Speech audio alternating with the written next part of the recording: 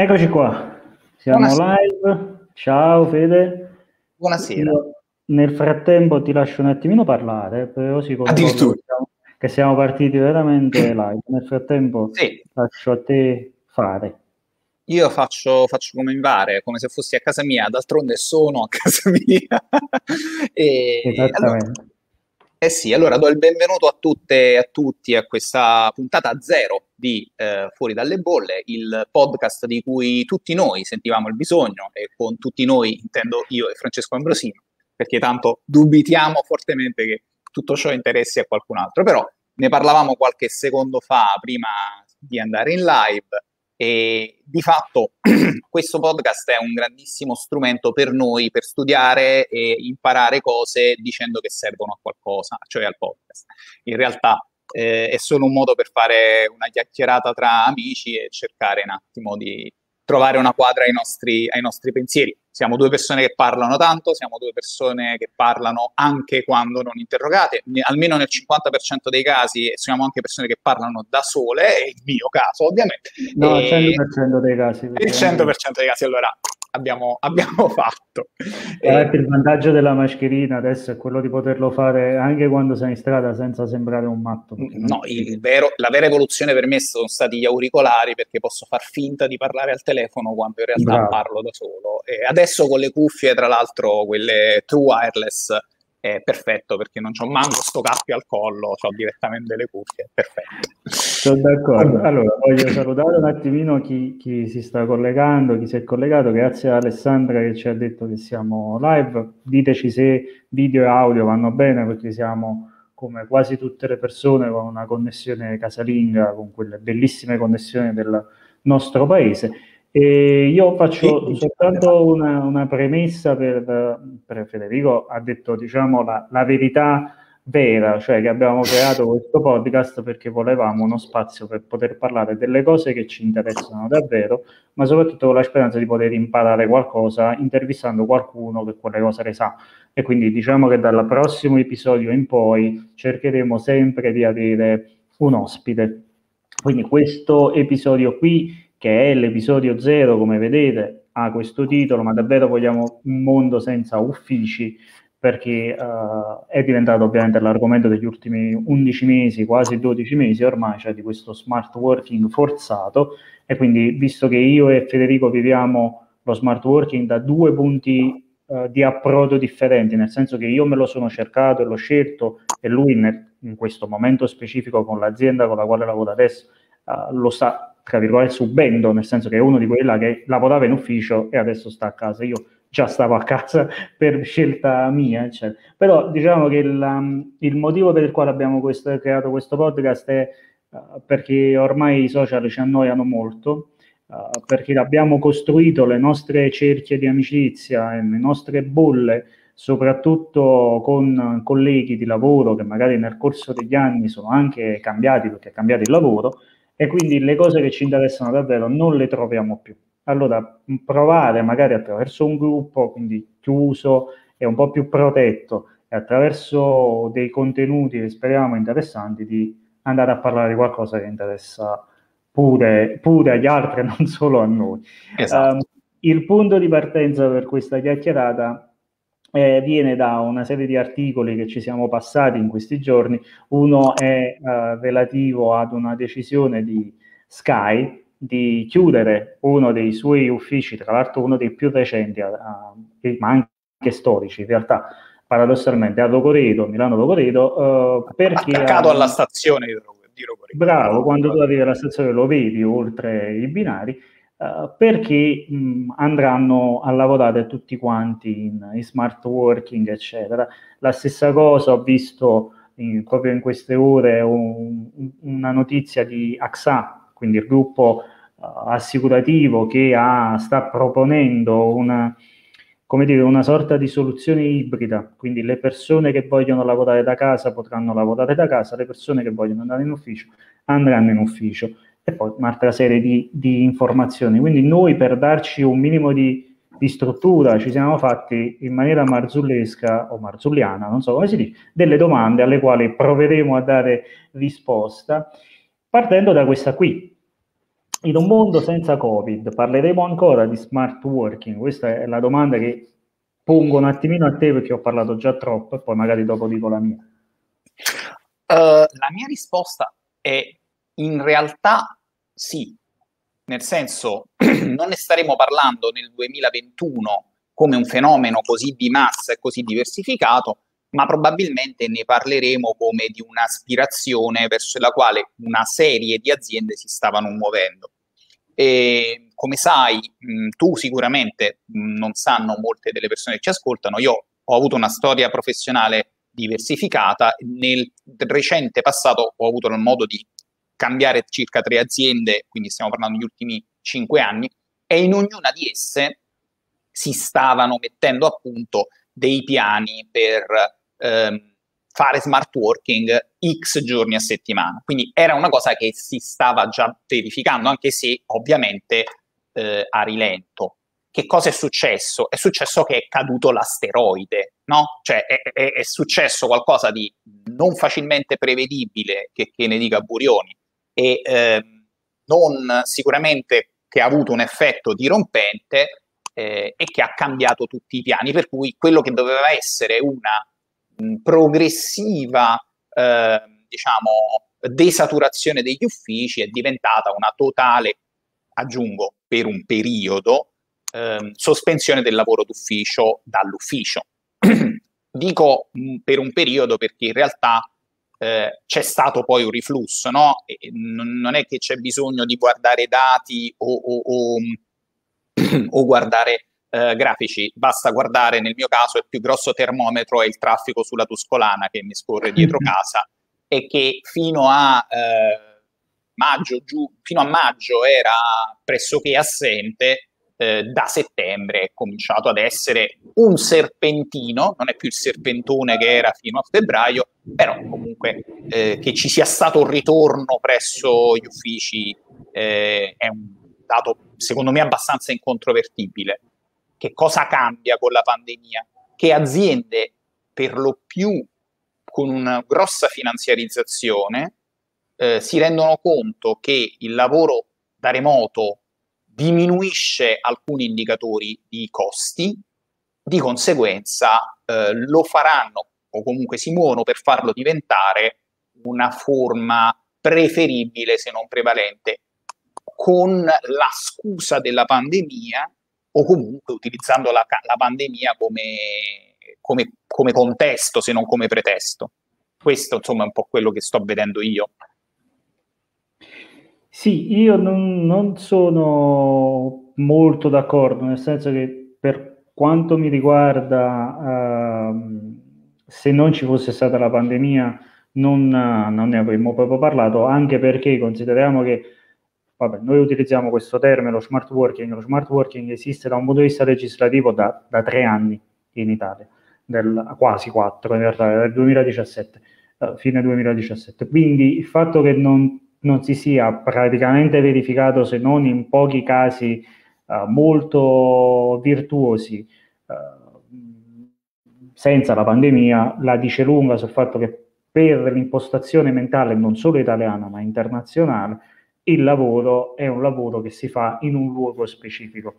Ok? Questo ovviamente per le aziende, i liberi professionisti che dicono che fanno smart working stanno dicendo una stronzata, perché fanno i liberi professionisti, la stessa cosa i consulenti, eccetera, fanno quello che facevano già prima, adesso usano un'etichetta che fa più figo, ma ovviamente secondo me quando tutto questo sarà passato, speriamo presto, si ritornerà progressivamente alla normalità, l'unico motivo per il quale le aziende probabilmente continueranno a preferire questa forma di lavoro da casa essenzialmente, perché poi la gente lavora da casa, non è che lavora sulla spiaggia o a Bali, lavora da casa, um, sarà per evitare una serie di costi fisici concreti, uh, che probabilmente è quello su cui bisognerebbe poi spingere per far veramente decollare lo smart working. Cioè l'azienda che ha 5.000 dipendenti, uh, di cui diciamo un 20% negli uffici, poi il resto magari che deve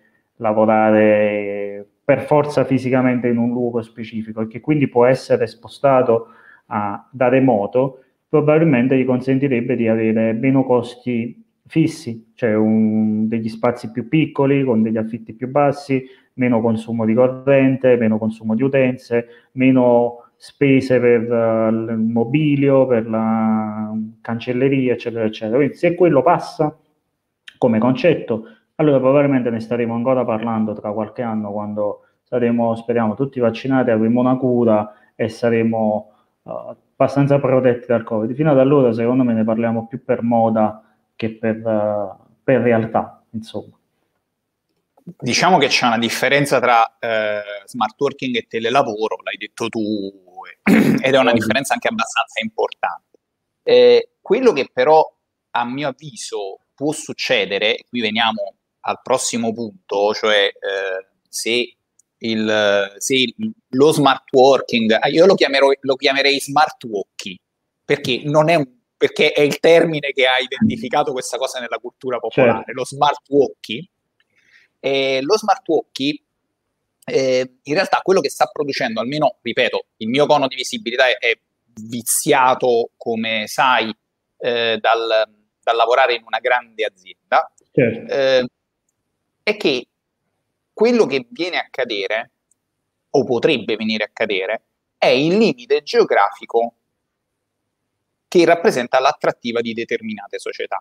La mia società ha una sede a Roma, in Italia, una a Madrid, in Spagna, eccetera, eccetera.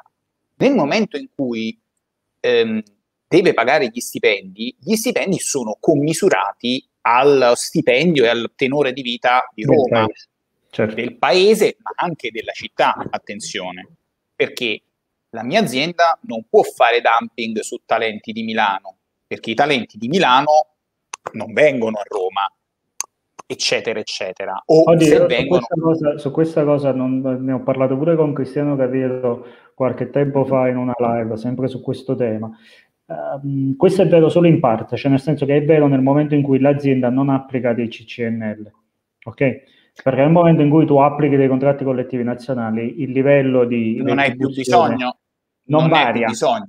Sì, ma non è più bisogno. Per un'azienda che ha sede in più paesi, non ha necessità di, di applicare il contratto collettivo nazionale per, fare, eh, per avere un effetto sul paese in corso. Può tranquillamente avere una sede a Roma mh, nella quale lavora, lavorano 5 persone, una segge e un telefono, e poi avere eh, impiegati nel resto d'Europa, se proprio vogliamo mantenere un quadro. Cioè, nel senso, sì, però quello poi c'è un problema, lo sai, no? C'è un problema di eh, che, che, va al di là del, dello smart work, cioè se tu hai la sede legale in Italia, faccio un esempio, e poi hai una sede legale in uh, un'altra sede a Madrid, un'altra in Germania, eccetera, eccetera, tu devi pagare le tasse nel paese nel quale in quel momento stai lavorando.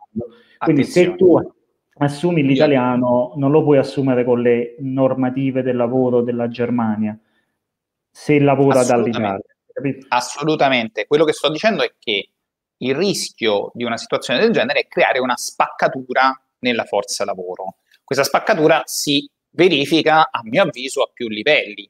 Uno è quello di avere la possibilità di abbassare in maniera, diciamo così, eh, pretestuosa il costo del lavoro, quindi avere una, ma, una delocalizzazione più massiccia eh, e non sempre regolabile, perché tanto lavorano da remoto, quindi e un altro eh, elemento è quello di creare una spaccatura importante tra chi è costretto a recarsi eh, in ufficio o a recarsi nel, diciamo, nella sede di lavoro e chi invece non è costretto a farlo e quindi può scegliere di lavorare da remoto e aggiungerei una spaccatura anche tra coloro che invece ehm, fanno smart working o comunque lavorano da remoto perché ovviamente sono soggetti a ehm, trattamenti difformi, dipendenti dal carico di lavoro e non dipendenti dall'orario di lavoro, che invece è una cosa che la sede di lavoro,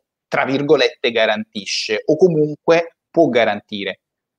Una delle cose che ti posso, diciamo, eh, di cui ti posso parlare è che nel nostro quotidiano di eh, lavoratori della mia azienda sono scomparsi gli straordinari. e malgrado soprattutto, va detto, tra marzo e settembre, io non abbia mai, mai, neanche una volta smesso di lavorare prima delle 7, prima delle 19. Ok? E mai smesso, attaccato a lavorare pri- più tardi delle 9 e mezza. No, Qu- quindi questa cosa ovviamente subordinata al carico di lavoro eh, crea una eh, impossibilità, diciamo, di essere, eh, di essere regolati. Ecco. Sì, ehm, sì. Um, voglio passare un attimino alla, al punto successivo, così cerchiamo di trattarli un pochettino tutti, che è sì. questo qui, ovvero il fatto, come dicevo prima, menzionando AXA, questa cosa del sistema ibrido, ovvero tu decidi se vuoi venire in ufficio o vuoi lavorare da casa, poi le motivazioni sono le tue, problema tuo. Um, in un altro articolo che io ho letto sul post, uh, ma che in realtà è una sorta di sintesi di un articolo lunghissimo sul in New Yorker, in New Yorker, ah, New York. dove ci stanno praticamente i grandi CEO delle più grandi multinazionali che parlano appunto di smart working da molti punti di vista e uno è questo, ovvero il fatto che uh, in questi sistemi misti, ibridi, a parità ovviamente di mansione o di seg- segmento dell'azienda nel quale tu lavori, si crea una spaccatura tra il lavoratore che va in ufficio e il lavoratore che resta a lavorare da casa, in qualche modo come se quello che va in ufficio è visto meglio, diciamo, dal capo rispetto a quello che sta a casa nel momento in cui è frutto di una scelta e non di un'imposizione del momento. Uh, tu che lavori in una grande uh, azienda, quindi ci sono tantissimi dipendenti, io lavoro in una realtà più piccola uh, dove comunque siamo in tanti in realtà e abbiamo dovuto, io già lavoro da casa, però i ragazzi nei periodi uh, di picco hanno dovuto fare una turnazione per lavorare in ufficio perché non potevano stare tutti quanti insieme ed era abbastanza complicato. Come si gestisce secondo te da questo? Tu hai avvertito il fatto che lavorando da casa tu, mentre il tuo omologo magari nel, in un altro paese europeo sta in ufficio, uh, tu ti senti o ti sei sentito in qualche modo inferiore o non preferito rispetto all'altro, ripeto, a parità di mansione, eh, non di... Um, ti, posso dire, fabbrica, diciamo, eh. ti posso dire che, allora, personalmente io non ho nulla da dire alla mia azienda onestamente, cioè con, mi conosci, so che sai che mi lamento facilmente. Nel mio caso non posso assolutamente dire che eh, mi, tro- mi, sia trovato male, mi sia sentito trattato male, mi sia sentito trattato diciamo in maniera differente, eccetera. Quindi non mi appartiene proprio in questo momento della mia vita. Quello che posso dirti però è che la percezione di me che soprattutto nella, nel pre-seconda ondata sono andato più spesso in ufficio, andavo circa due volte a settimana, oggettivamente avevo una capacità di interazione con i miei colleghi rispetto ai miei colleghi che rimanevano a casa che era infinitamente superiore, quindi anche il modo in cui circolavano le informazioni, il modo in cui riuscivo a interfacciarmi con le persone, il modo in cui riuscivo a risolvere i problemi, era molto, cioè mi creava un vantaggio competitivo eh, nei confronti dei miei colleghi che invece rimanevano a casa ed erano costretti a, ten- a sentirsi via Teams che eh, non avevano altri. Poi, diciamo... Questo secondo te non può creare un, crea una grande fra- frattura tra i lavoratori? No, ma questo, questo, fa parte delle varie cose che possono creare una, una frattura tra uh, le opportunità di carriera, le opportunità di visibilità. Poi dipende tanto da come le risorse umane tendono a gestire questo tipo di fenomeni e nel nostro caso, devo essere onesto, le risorse umane hanno fatto un ottimo lavoro, eh, anche di, di, ricompattamento, di, diciamo di, ehm, eh, di, momenti di coesione, di co- co- cooperazione tra chi era in ufficio e chi non lo era. Cioè, da questo punto di vista, non posso, cioè, le risorse umane possono fare tantissimo se vogliono e se lavorano. Viceversa, eh, viceversa, se invece la cosa viene lasciata a se stessa, è evidente che chi rimane in ufficio avrà opportunità e possibilità di cooperazione eh, maggiori eh, e di visibilità soprattutto rispetto a chi non ci va. Specie in un, lavoro come, in un paese come l'Italia, conosco altre realtà perché come sai e come ho già detto ho girato parecchio eh, di persone che sono rimaste in vecchie aziende nelle quali se rimani a casa sei, cioè, hai deciso che non vuoi fare più carriera, cioè hai deciso che non vuoi promozioni mm. quest'anno.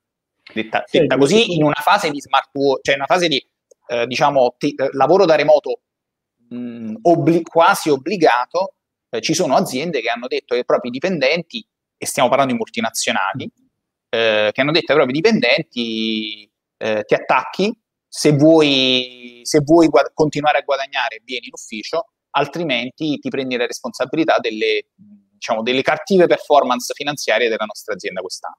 Mm. Cioè, detta, detta leggermente meglio, ma leggermente meglio. Sono rimasto veramente basito. F4. Senti, ehm, questa cosa mi consente poi di collegarmi ad un altro punto, in realtà che erano due collegati tra di loro, il concetto della uh, produttività. Uh, da questo punto di vista io ho letto, perlomeno in questi mesi, pareri molto discordanti, nel senso che ci sta da tutta una, un filone di letteratura che dice che chi lavora da casa è più produttivo, uh, rispetto all'ufficio e tutta un'altra, un'altra scuola che invece dice esattamente il contrario. Um, io che ho lavorato per tanti anni in ufficio e poi ho scelto di lavorare da casa, uh, credo di avere un attimino quella uh, angolazione per vedere il problema. Eh, esatto, più che altro una cosa che mi interessa capire da te, perché eh, sai che anche io ho lavorato da casa, ma con fasi molto, molto altalenanti. Invece tu che hai avuto un'esperienza lunga in ufficio e lunga da casa, voglio capire, è chiaro che ti occupavi anche di cose diverse nel primo certo. e nel certo. secondo contesto, però mi piacerebbe capire più che altro da te, ma tu come l'hai vissuta, eh, anche dato che tu sei un, free, cioè sei un lavoratore da casa eh, pandemic free, cioè eri lavoratore di casa anche prima, anche eh. per, Sì, e infatti questo che io poi um, non mi trovo con nessuna delle due uh, scuole di pensiero, perché ovviamente bisognerebbe sempre mettere il dipende, uh, perché è frutto del lavoro che stai facendo e dell'ambiente nel quale lo fai, ma soprattutto, almeno dal mio punto di vista, dalla mia esperienza, dipende molto da te. Cioè, ci sono delle persone che per carattere, per approccio, uh, riescono a lavorare bene o male, ma proprio a lavorare soltanto in determinate condizioni, uh, che generalmente tendono ad essere un po' più favorevoli quando stanno in un ufficio insieme ad altre persone, perché sono le persone che hanno difficoltà a vivere la solitudine del lavoro da casa. Ok? Per è un dato di fatto. Poi ci sono altre persone come me e come tanti altri che invece riescono a lavorare anche meglio stando da soli a casa o paradossalmente, come nel mio caso, nella distrazione dell'essere un papà di tre figli con i bambini che mi ruotano intorno. Poi soprattutto in questa pandemia, ma anche in generale, perché c'è una bambina molto piccola e quindi non va a scuola, eccetera. Quindi a me, quando lei entra eh, nello studio, mi, mi, mi, fa piacere, non mi disturba, uh, anzi. Um, però questa questione della produttività che migliora o peggiora a seconda di dove tu lavori, dipende da te. Cioè, nel senso, non è soltanto un problema di workflow, perché quella è una parte del problema. Però se la tua azienda si struttura bene e quindi ti dà delle task, organizza bene il lavoro, ti consente di lavorare bene con le altre persone, ora in un contesto pandemico lo devi fare per forza, ma diciamo che tu lo scegli. Poi se tu non riesci ad affrontare il lavoro uh, con la medesima qualità, e probabilmente è un problema di tuo approccio e può essere che tu non sei portato per lavorare da casa perché hai bisogno di stare insieme agli altri, di fare una vita diversa, di avere degli approcci diversi, oppure viceversa, e, e può darsi che se ti metto chiuso in una stanzetta da solo mi lavori meglio. Ora, mh, mm, probabilmente il datore di lavoro o il manager in un'azienda un po' più grande, il PM, dovrebbe saper leggere no? la, la, le caratteristiche psicologiche della persona. Però dovremmo imparare anche noi a, a, capire se siamo portati oppure no. Per questo io non mi sento mai di consigliare uh, il lavoro da casa come la soluzione a tutti i mali, perché magari da casa non lavori bene, perché non sei capace di creare una tua routine senza avere qualcuno che a fianco ti passi le carte o ti chiami o ti siedi vicino a lui a lavorare, eccetera, eccetera. Poi, ripeto, ovviamente è, è, dipende dall'esperienza personale. Io lavoravo in un'azienda nella quale se, se, stavo a casa potevo fare esattamente le stesse cose, ma ero costretto ad andare in ufficio. Ho deciso di lavorare da casa. Lavorando da casa mi sono reso conto che lavoravo meglio Uh, ma è una questione di approccio Ci sono delle persone che invece eh, lavorano bene soltanto stando in ufficio, quindi questa cosa che aumenta diminuisce la produttività, ma dipende dalle persone che lavorano, dall'azienda come è strutturata, dal lavoro che devono fare ovviamente. E, per, ci sono dei lavori nei quali l'interazione è essenziale con gli altri. Cioè, anche se quel lavoro tu lo puoi fare da casa collegato via Zoom con l'altra persona, quando tu stai seduto intorno a un tavolo con l'altra persona e fai dal brainstorming fino all'operatività, ci sono dei lavori per i quali stare a contatto e non dico che è essenziale, ma sicuramente è un valore aggiunto. Non è che se tu metti i pezzi insieme e poi li monti da un'altra parte hanno la stessa efficacia, hai capito? Ma mio punto di vista. E allora, diciamo che eh, una domanda come diciamo la domanda generale se la produttività aumenta o diminuisce eh, non ha molto senso. Eh, la produttività di un'azienda metalmeccanica eh, aumenta o diminuisce con lo smart working, ma se fa laminati in ferro temo che diminuisca perché banalmente hai bisogno eh, di persone che lavorano fisicamente i laminati in ferro. Mm, battute a parte, eh, però è è pur vero che in una situazione generalizzata di smart working, un, una organizzazione complessa, sia essa un'azienda o un, una nazione, fa i conti con quelli che sono o dovrebbero essere fenomeni eh, molari, cioè generali, di grosse masse che si muovono e non ehm, granulari, quindi con il singolo. Ragionando quindi in termini molari, ti posso dire che un'organizzazione complessa come quella in cui lavoro ha avuto un calo netto di produttività nei primi mesi, che è dovuto inevitabilmente all'adattamento, all'elaborazione di nuovi processi, di nuove procedure, eh, di nuove modalità e di nuove abitudini, perché noi, ti ripeto, fino a settembre non abbiamo smesso un giorno di lavorare 11 ore, almeno 10-11 ore. Saltavamo quasi sempre la pausa pranzo perché si andava a lunghi con i meeting e noi avevamo fatto mh, anni di, di, di, di, pratiche per tenere i meeting all'interno di un'ora, non si riusciva mai quando si era fisicamente in ufficio alla fine di questo processo lungo, è anche vero che noi abbiamo fatto due lanci di prodotto, è stato tutto molto complicato, soprattutto per eh, l'area di cui mi occupo io, a quel punto abbiamo deciso, ehm, cioè, non, scusate, non abbiamo deciso, a quel punto si è creata una curva in senso opposto, cioè il, il tempo che abbiamo perso ad adattarci, a creare nuove, nuove procedure, nuovi modi di lavorare, eccetera, eccetera, in qualche modo ci è tornato utile perché abbiamo cominciato ad alzare la curva di produttività. Ovviamente anche quella a un certo punto come curva si è stabilizzata, ma si è stabilizzata a un passo un pochettino più alto rispetto a quello in cui stavamo prima.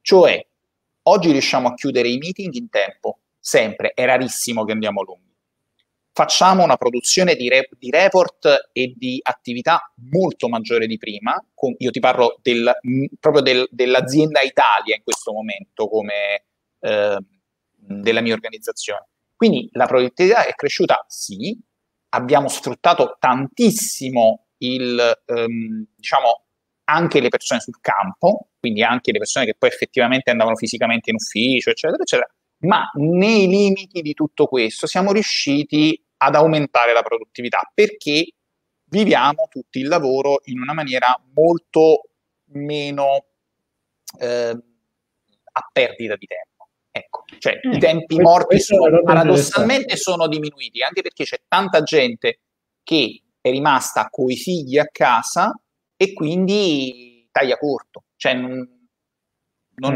eh, al, al, limite ti manda, ti, ti, ti manda un messaggio in chat anziché chiamarti, prima ti imboccava direttamente in ufficio e quindi ovviamente ti faceva perdere il triplo del tempo.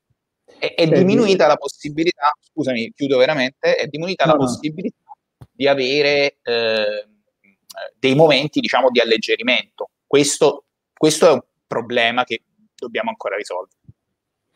Uh, volevo soltanto leggere, cioè dare, dare, ragione ad Ale perché io sono dell'idea, ripeto, nonostante io sia un misantropo sociopatico e quindi lavoro meglio stando da solo a casa che in ufficio, però quelle poche cose che mi mancano del lavoro in ufficio sono tutte quante legate alla sfera uh, sociale e umana e quindi l'andare al bar a prendere il caffè, fare la pausa caffè, uh, chiacchierare magari prima o fare il tragitto uh, ufficio-stazione insieme al collega per fare quattro chiacchiere, quindi quell'aspetto lì è l'unico che mi manca, ne posso fare volentieri a meno anche perché i colleghi erano mio padre, mio fratello, mio zio, quindi eventualmente li chiamo e, e, ci parlo lo stesso, però eh, questo sono, sono, d'accordo con lei che ogni tanto c'è bisogno di stare a lavorare insieme alle altre persone.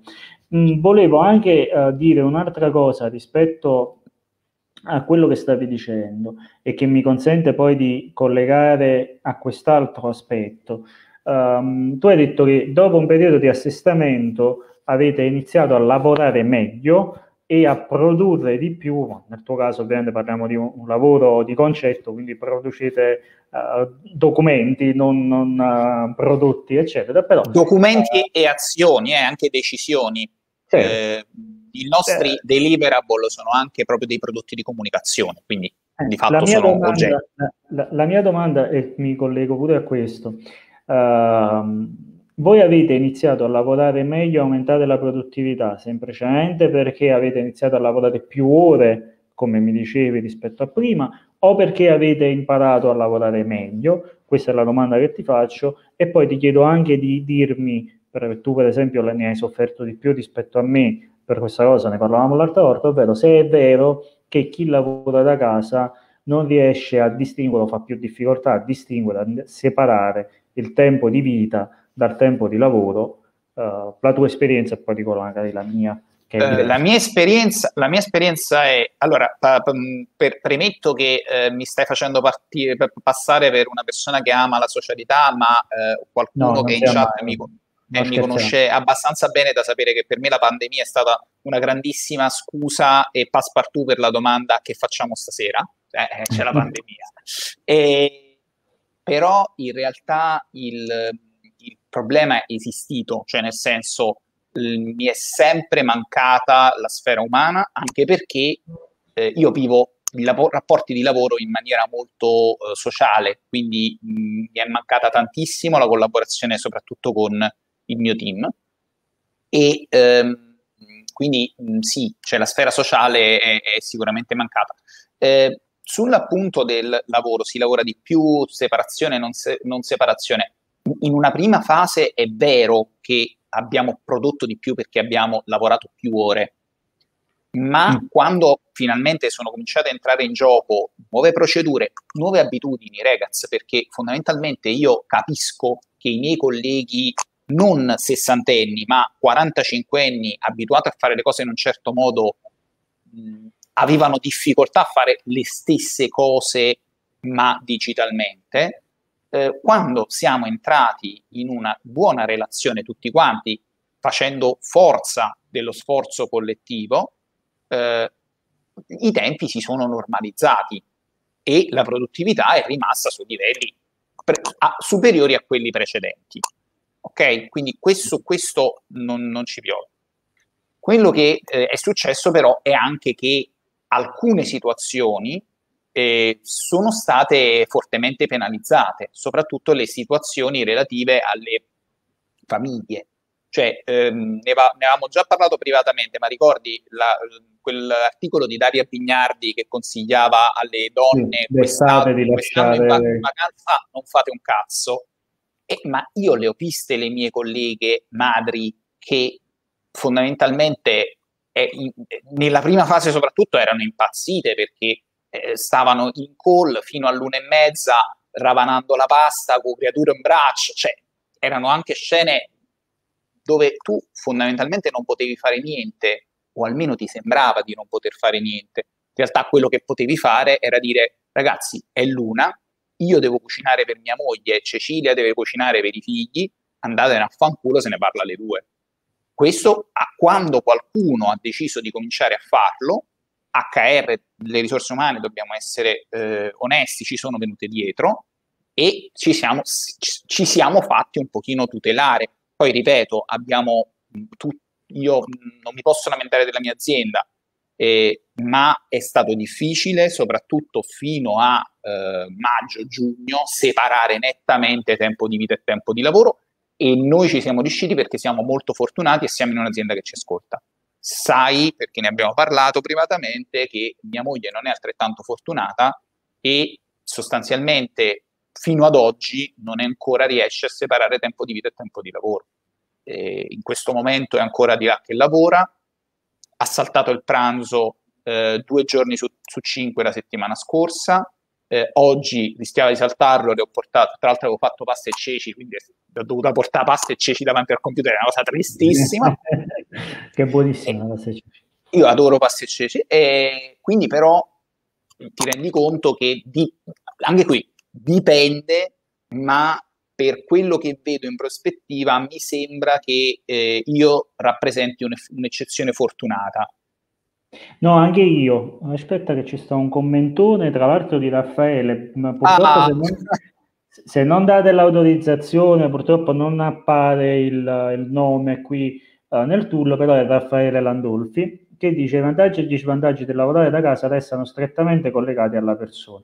Ci vuole grande disciplina per gestire i tempi in autonomia e bilanciare il lavoro ed il tempo personale. Avendo fatto tutte e due le cose, per quello che mi riguarda, credo che la situazione sia un giusto compromesso tra smart working e lavoro in ufficio, ma in questo passo, di questo passo entra in gioco l'organizzazione e le dimensioni dell'azienda. E sono molto d'accordo perché tra l'altro ti colleghi a quello che stavo dicendo prima, che è frutto anche della tua capacità personale, di individuo, di lavoratore, di organizzare, oltre ovviamente, ragazzi, il pesce puzza sempre dalla testa, se il datore di lavoro non ha rispetto per il tempo di vita dei lavoratori è abbastanza difficile parlare. Io come te sono un privilegiato perché ho un contratto di lavoro, di telelavoro, contrattualizzato così, uh-huh. prima della pandemia, con un'azienda eh, che, che, mi rispetta, ha fiducia in me, mi, mi, mi fa lavorare senza chiedermi uh, di beggiare o di rispettare determinati orari, quello che mi chiede è di rispettare il lavoro, le consegne, però mi rendo conto che sono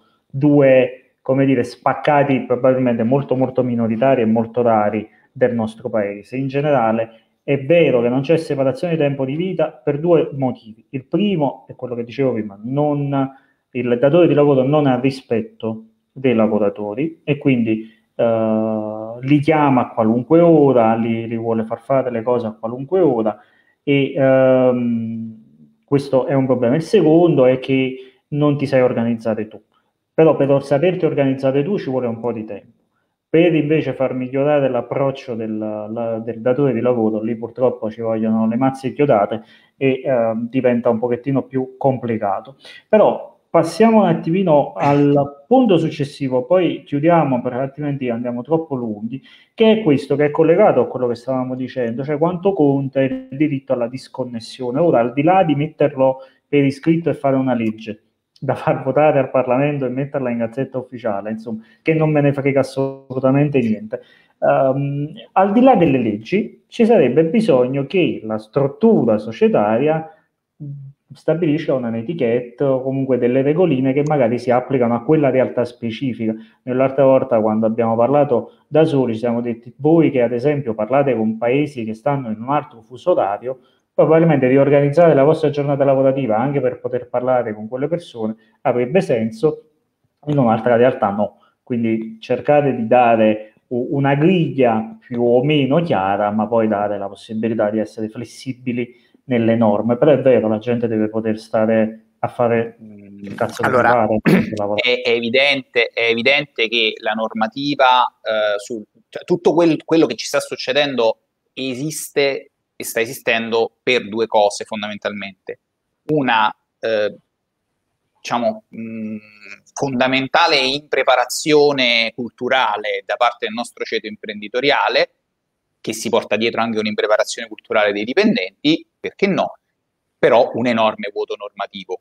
reale. Cioè tu oggi stai, stai facendo telelavoro che però non è telelavoro, perché non c'hai le leggi sul telelavoro, non c'hai dispositivi ergonomici e tutte quelle manfrine che sono anche molto pesanti, sia per l'azienda che per il lavoratore, diritti, doveri, eccetera, eccetera. Mm-hmm. E smart working che non è smart working, perché se fosse veramente smart working tu dovresti poter lavorare per obiettivi, lavorare quando vuoi, certo. quindi sostanzialmente lavorare al progetto. Quindi quanto conta il diritto alla disconnessione? conta tantissimo perché dovrebbe contare il diritto, che non vuol dire la legge necessariamente, significa esatto. una disposizione culturale a reputare il lavoro da remoto, lo smart walkie, eh, come un qualcosa che a un certo punto ha un termine e tu hai diritto a non rimanere costantemente connesso. Eh, però se non c'è il diritto, cioè se non c'è come dire, la razio che ti consente di distinguere il giusto dallo sbagliato, che può essere anche rappresentato da una legge scritta come testo di riferimento, ma che forse ha più senso sia un regolamento interno dell'azienda che si regola su un testo normativo, mm, cioè come l'anticorruzione, deve avere delle procedure di, net, di, di, di smart working o di lavoro da remoto devono contenere più o meno questi parametri, poi arrangiati come vuoi, cioè nel senso gestiscila come puoi, perché certo. così ha più senso. Mm, altrimenti si rischia di andare in un liberi tutti, come è stato nell'ultimo anno, che fa un po' il gioco di chi la tira di più. Può fare il gioco del dipendente lavativo eh, a danno dell'azienda, ma soprattutto dei suoi colleghi, ma credo che faccia molto più il gioco del, del datore di lavoro che risparmia le bollette e, e sfrutta i dipendenti. Sfrutta i dipendenti e, e non va anche buoni pasti, tra l'altro, perché tu stai a casa, quindi non, casa, non, non, mangi, capito? Perché stai eh. a casa. Senti, la, la, chiudiamo così restiamo nei 45 minuti. Uh, alle persone che ci hanno ascoltato, che sono andate e venu- eh, venute, uh, io voglio solo dire che questo episodio è un episodio pilota per più che altro per iniziare il discorso, dalla prossima puntata e dalla prossima settimana inizieremo in maniera un po' più strutturata con un ospite ad affrontare uh, degli argomenti che esulano dalle nostre competenze ma rientrano nelle nostre curiosità. Uh, la prossima volta parleremo di come si comunica la salute, non in termini di content marketing, giusto per capirci. Per favore, termini... no. per favore no, se fai una cosa del genere io non vengo. No, in termini istituzionali avremo ospite lunedì prossimo, sempre alle 18, nel gruppo qui live, Giulio Notturni, responsabile della comunicazione delle azioni istituzionali dell'assessorato alla sanità della Regione Lazio, io lo leggo preciso perché eh, se no sbagliamo, e l'Istituto Nazionale per le Malattie Infettive Lazzaro Spallanzani o Lazzaro, non, non so come si Lazzaro, dice. Lazzaro, Lazzaro, Lazzaro, come Santo Lazzaro. Eh, Lazzaro, come Lazzaro Spallanzani, quindi una realtà che in questi mesi è diventata centrale con il Comitato Tecnico Scientifico e tutte le altre cose. Quindi io vi saluto, lascio salutare un attimino il mio collega, Uh, tolgo questo bannerone, Bannerone. su Twitter ci trovate così, se ci volete seguire su Twitter Frambro e Sleeping Creep, Creep. Uh, Creep che Creep è perfetto per lui. E niente, un abbraccio ragazzi. Ragazzi grazie mille a tutti, buona serata e speriamo di rivederci lunedì prossimo e a risentirci. Ciao a tutti. Ciao